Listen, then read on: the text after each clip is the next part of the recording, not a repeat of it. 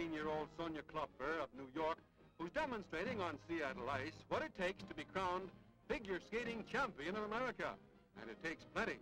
It's so dazzling a performance, it's a wonder her head isn't in a whirl. But Sonya keeps the gay blades at her feet. It's a brilliant performance that wins Sonya her title.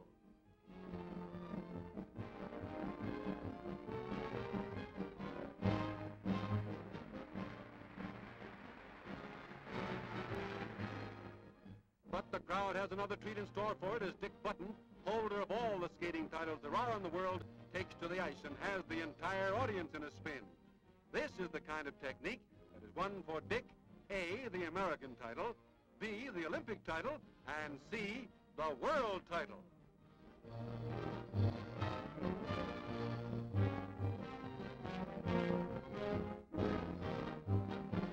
21-year-old New Jersey champion, now a senior at Harvard, is unbeatable as he stretches his domination of the U.S. senior field through the sixth straight year.